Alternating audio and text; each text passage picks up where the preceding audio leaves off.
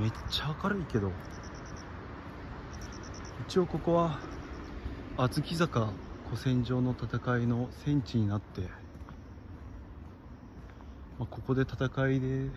死んだり怪我した人の血で池が赤く染まったっていうような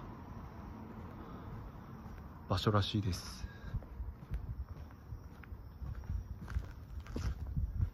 そしてこの小豆坂を歩いてると、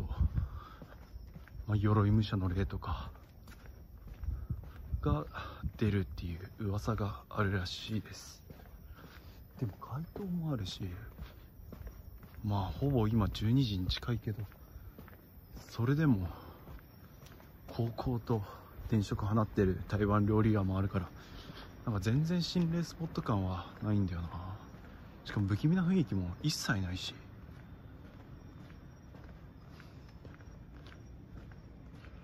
ライト使わなくて。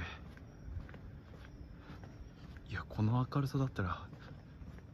夜中でも全然怖くないでしょ。一応なんか目撃としては深夜2時っていうのが一番心霊スポットであまあ武者の霊が見るっていう風に言われてるみたいです。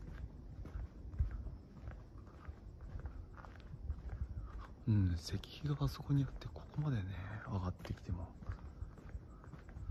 うん、どこも電気つけてるしな。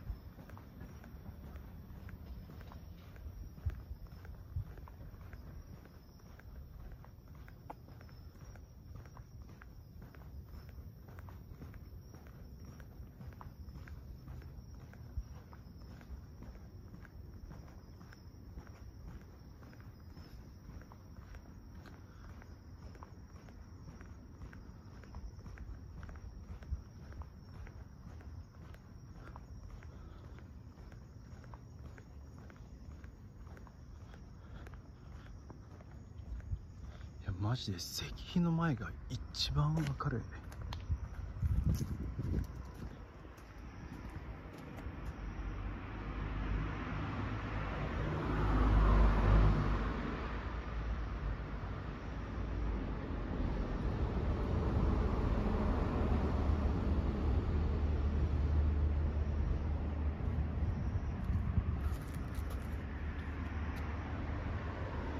これは何なんだろう。